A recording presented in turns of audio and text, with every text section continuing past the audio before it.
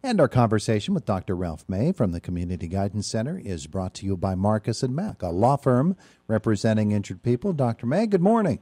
Morning, Todd. Thanks for having me. That's good to have you on the air with us once more. We've been talking throughout this coronavirus crisis at various stages about some of the uh, psychological, emotional issues that folks might be dealing with. And uh, here we go. We're going to ramp it up into uh, yellow. We're all going to turn yellow on Friday. Right, right. And, uh, and for some, that has a different meaning than it does yeah, yeah. for uh, others. it certainly has many levels of meaning, doesn't it? It absolutely does. But uh, let's address it. And, and I'll use as a frame for this our poll question this week, uh, which is brought to us always by the Indiana Regional Medical Center. And it has to do with dining out. And the question just posted yesterday is if you, if you regularly dine out under normal circumstances, how comfortable will you be to resume dining out when your favorite restaurants reopen? Right now, the voting shows uh, 29% saying I can't wait to eat out, 12% saying I'll be uh, I'll be comfortable, 24% saying I'm a little hesitant, and 35% say no way, not for a while. And that really does underscore the fact that it it's with mixed feelings for some that uh, we get back out onto the street. There are fears that people will have when there are more people out there around them, aren't there? Yeah, there are. And I think we're, we're fighting two forces, right? And we talked about this before when we were looking, as you said, the stages of this. As we start to re-engage with one another, get back out, the, the social distancing remains really, really important. But we want to get back to normal. And, and, and we were talking about this before. I hate that term new normal. That just annoys me. we, want it, we want to get back to normal. Mm-hmm. People want to get back to normal. They want new normal. They want to get back to normal. That's no, that is normal to want to get back to normal. The issue is we're going to have to do this carefully. This virus is sneaky. It's something we still are learning about as we go. So I think the distribution in your survey is actually very reflective. People react to this limitations and being kind of holed up in the house in a couple different ways. One is I want out. I want to get back to normal. I want to get back to normal as soon as possible. They don't see the real immediate threat here in Indiana County. This is not New York. We don't we haven't seen the impact, thank God, of what happened in New York because we were ahead of it. We were socially distancing. We were ready. Now, as we get back, the virus is still there. We still don't have effective vaccine. The treatments are being developed, but not quite there yet. So people have a natural degree of fear. I wouldn't even call it anxiety. I would call it fear that the virus is still active, so we have to be careful. We know mm-hmm. what works social distancing, masking, washing your hands. We know that we can prevent flu, we can prevent coronavirus the same way. But the issue is once people want to get back to normal so badly, they'll start loosening up too much. People want to get back to normal too fast, so they'll start loosening up too much. So I might go out and be practicing social distancing and wear my mask when I need to and wash my hands, but but Joe might be like the heck with this. I don't think we have corona, so I'm just going to go and do what I want.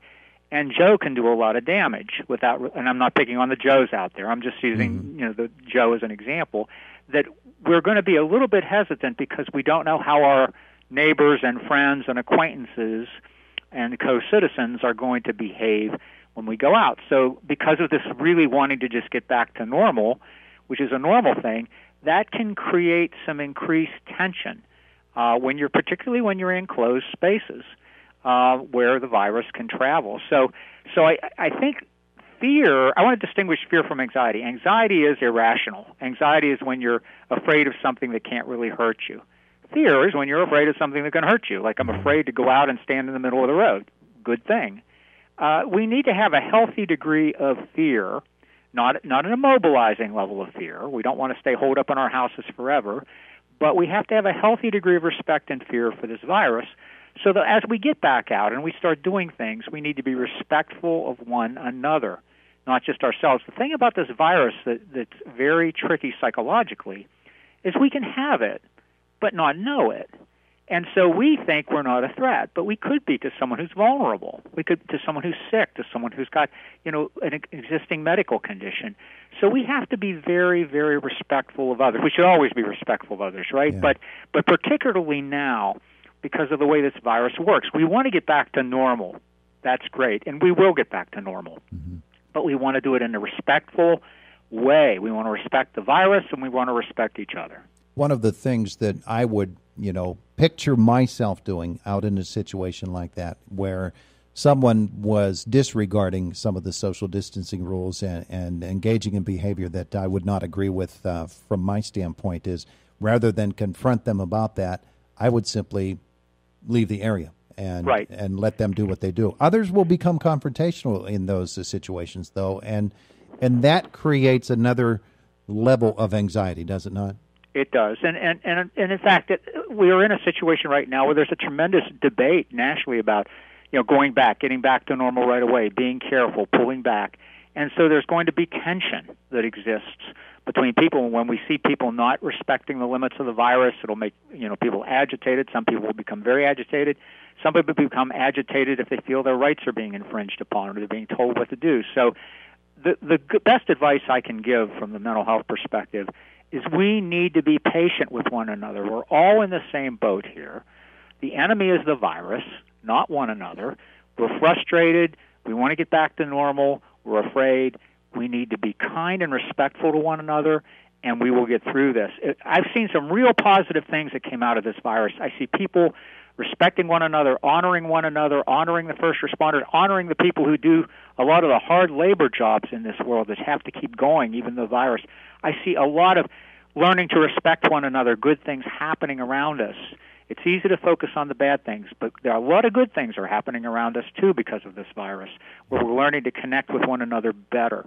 I think we need to pay attention to that and strengthen that bond.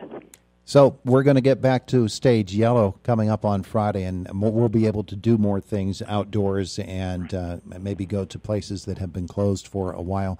Uh, but it is always a good idea to follow whatever rules each of those companies uh, or organizations does have in place. Wanted to talk to you about something else this morning because an article came out yesterday uh, saying that uh, the term they used was deaths of desperation right. are escalating. And, and when you hear a phrase like that, deaths of desperation, you automatically think of suicide, but it's uh, a little bit more broad than that, isn't it?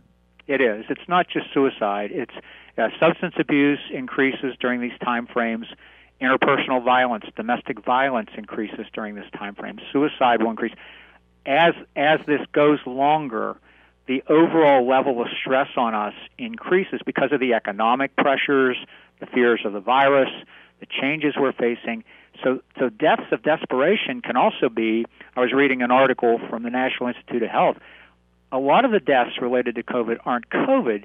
There are people who had pre-existing medical conditions that were afraid to get those conditions worked with during during isolation. So they were afraid to take get their heart disease worked on. They were afraid to get the health care they needed. So so the deaths of des- I'm desperate, but I'm afraid. So I'm afraid to get the health care that I need. Mm-hmm. Uh, when I was over at IRMC to get some tests done, it was amazes me is that I've never seen the hospital empty. Like we're ready for COVID, but you know they've had to be ready. But but a lot of people haven't gotten their regular treatment and that can lead to negative health health outcomes as well. So, the, the getting back to normal means getting back to getting the care you need, whether that's physical health care, whether that's mental health care. Now, the Guidance Center, I can tell you, our number of people calling and coming in for services has gone up during the crisis, and that's good. Mm-hmm. People are calling. We're doing it on the phone, so people don't have to, to go out in public, so they can maintain their isolation. But but people are reaching out for help. But that's going to increase as we start going back to quote unquote normal because the impact the impacts of this are cumulative and long term. So the longer you go with financial stress, the longer you go with isolation and going back, there'll be people I can guarantee you I've seen some already people start to have panic about going back to normal because they're afraid. Yeah. You know, they've gotten very habituated to being at home. So now they're afraid to go out. They're the people like I got to get out of here and they're the people like I don't want to get out of here. And those two extremes are not good. So we've got to find the middle ground here. I have uh, said often in the past couple of weeks the sociologists are going to have a field day with 2020. I mean, oh, well, they're they're going to be writing books about this long after I'm gone and you're gone, Ty, about 2020 and, and the years after what we learned, good and bad. I mean, this is going to we we're living during one of the most critical times I think in our history, and we don't really understand it yet, but, but we will. I mean, and we'll come through this. I'm absolutely convinced uh, that we'll come through this, and, and we'll be stronger for it. But but getting from here to there is going to be uh, good and bad. So, from the standpoint of a pro such as yourself, somebody who has done pretty well through all of this and has uh, managed to cope and find ways to uh, um, deal with the, some of the issues that have come up. Now they're saying to themselves, "That's it. I've had enough. I'm I'm going to take desperate measures. I'm going to go back doing what I normally do and." And the heck with all of this because I, I just can't take it anymore. What are some of the things that they can do to sort of um, turn back the dial a little bit on, on their on their increases uh, in tensions? Well, first thing is what you're experiencing is normal. I'm not going to. I would not, you know, get on you for feeling that way, having those emotions, and really wanting to get back to normal. Everybody feels that. The issue is when the frustration gets to the level where you start making decisions that are not healthy for you and for others. My first point to people is the way this virus works. You may feel personally that you're fine, and you really need to get back to work, and you really need to get back to your life.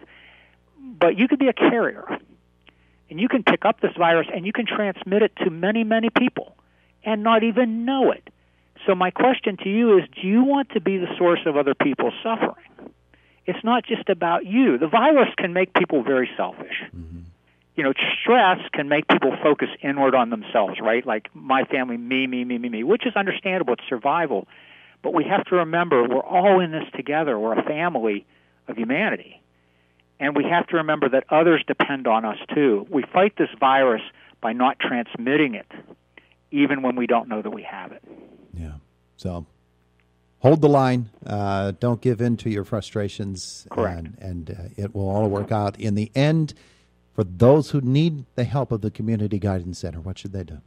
Call 724 465 5576 and we will hook you up, talk to you on the phone. You can you'll be able to, after we go yellow, you can come in or you can talk on the phone, whichever you're more comfortable with.